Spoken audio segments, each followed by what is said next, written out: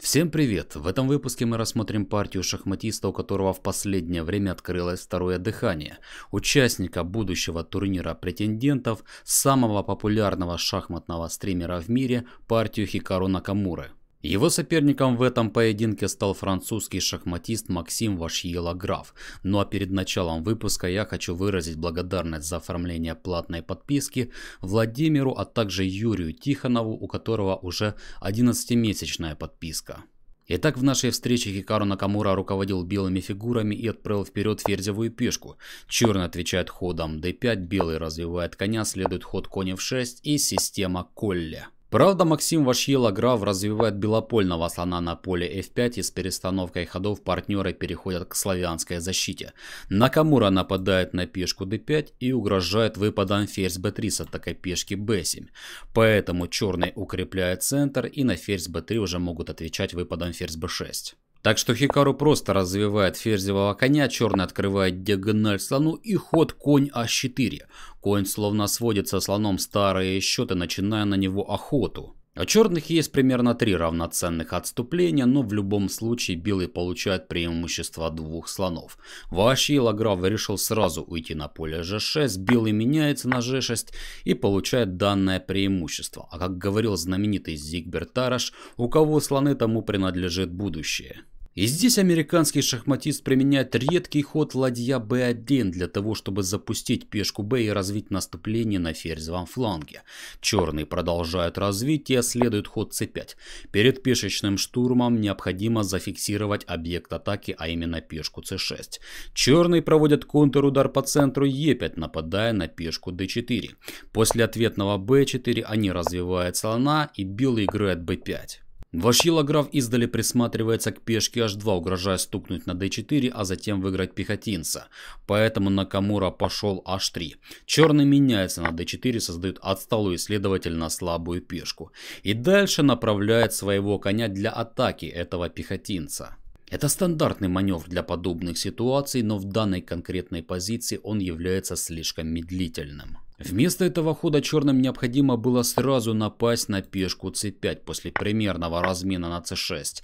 И нападение на ферзя черные могут объявить шаг, белый, к примеру, перекрывается слоном, но тогда черный рокирует в короткую сторону, получается сложная позиция со взаимными шансами. Ну а идейный с виду ход кони f8 в партии позволяет белым первыми прийти на ферзевом фланге. Накамура вбрасывает ферзя на поле а4, защищая пешку d4, он нажимает на пехотинца c6.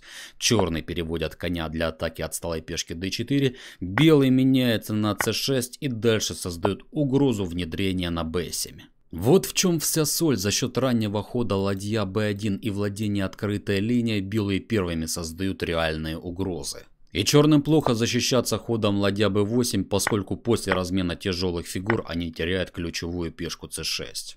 Поэтому Лаграву приходится переходить в глухую оборону, защищая пункт b7. Белые хотят активизировать своего чернопольного слона. После рокировки в короткую сторону они нападают на ферзя. Ферзь уходит на d7 и два мощных слона белых разрезают позицию противника словно масло ножом.